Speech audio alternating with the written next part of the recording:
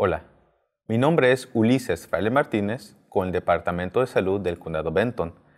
El informe de hoy será presentado por mi compañera de trabajo, Carol Elizondo, y nos compartirá información sobre los requisitos para la reapertura escolar en persona y sobre la importancia de poner a toda su familia al día con vacunas. Antes de comenzar, tenemos un mensaje de última hora.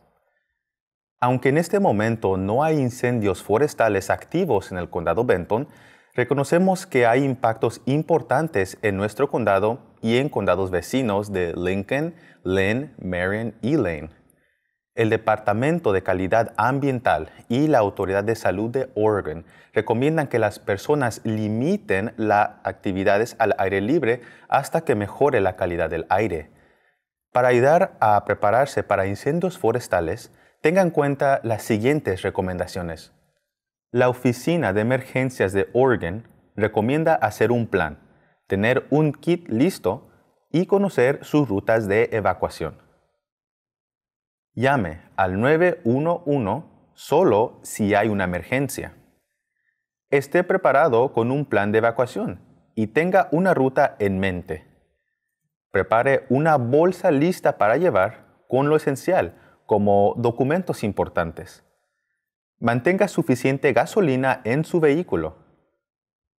Mantenga los aparatos móviles cargados y listos para usar y regístrase al programa de alertas llamado Lynn Benton Alert y monitoree las redes sociales para estar al día con información en la página que aparece en su pantalla. También puede que vea información en los medios sobre los niveles de evacuación.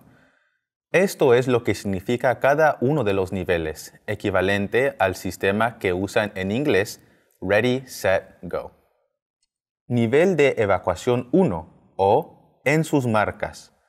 Quiere decir estar en alerta y preparados, ya que es una advertencia preliminar. Nivel de evacuación 2 o listos. Quiere decir que debe irse del área si es posible. Nivel de evacuación 3 o fuera.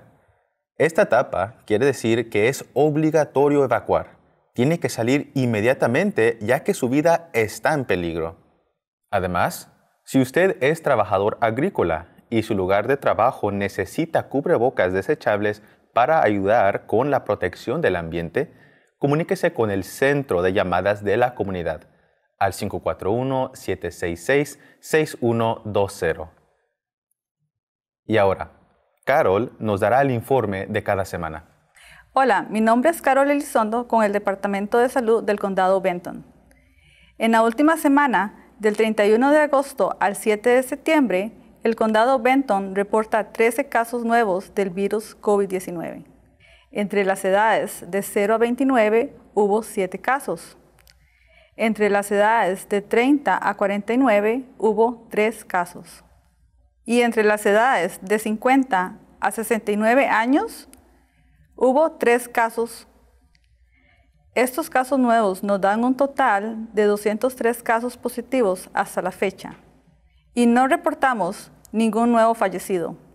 Seguiremos dando un informe cada semana para mantenerlos actualizados con nueva información.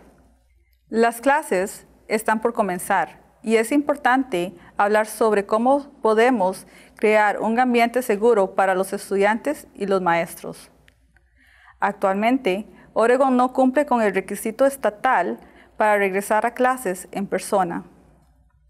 Para poder regresar a clases en persona, el porcentaje de pruebas positivas en todo el estado debe ser menor al 5% del total de las pruebas que se hacen.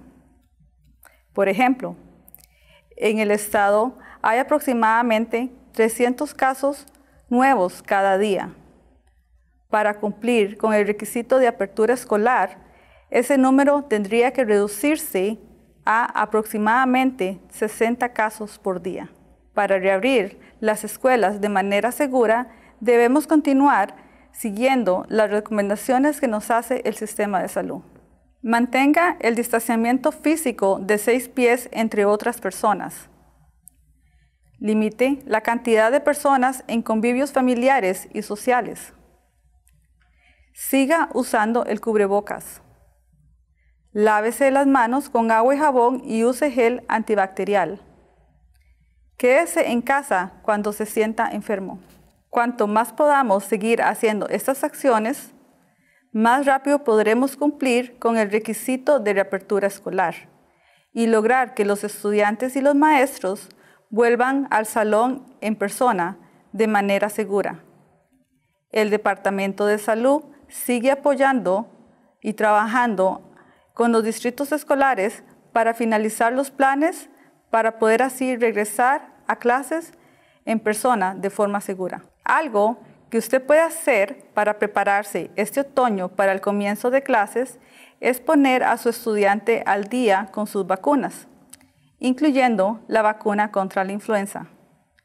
Es importante que los niños y los bebés mantengan al día sus vacunas porque les protegen de enfermedades graves.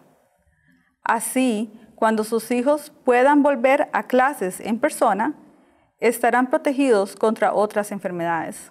Si su hijo no tiene médico de cabecera, puede llamar al Departamento de Salud del Condado Benton al 541-766-6835 para programar una cita con una enfermera para las vacunas.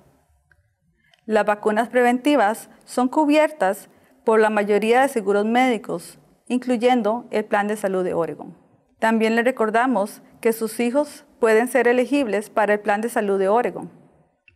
Todos los niños y adolescentes menores de 19 años pueden calificar, independientemente de su estado migratorio y que la familia cumpla con el límite de ingreso. Si tienen preguntas sobre el Plan de Salud de Oregon o para solicitar el beneficio para usted y su familia, por favor llame a la línea de recursos del condado Benton y hable con un navegador de salud al 541-766-2130. Gracias por proteger su salud y la de su familia.